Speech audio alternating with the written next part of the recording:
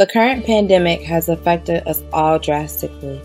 TimeLink has worked hard to find a device to help businesses reopen, prevent the further spread of the virus, and enforce non contact. And we have done just that. Introducing the Face Recognition AIO solution. The solution has already been implemented on smart campuses, Non-contact infrared temperature measurement technology, the device monitors and records the temperature instantly and ensures the safety of frontline workers. When abnormal temperatures are measured, it will warn in real time.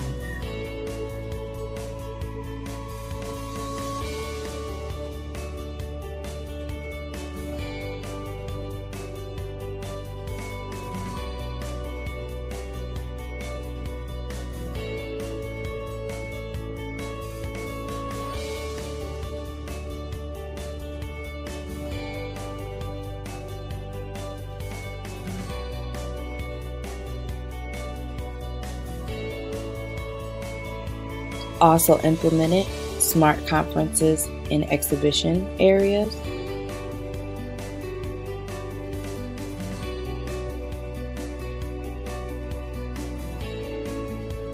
And utilize the system can provide real-time data statistics and we hope provide assistance in a challenging time.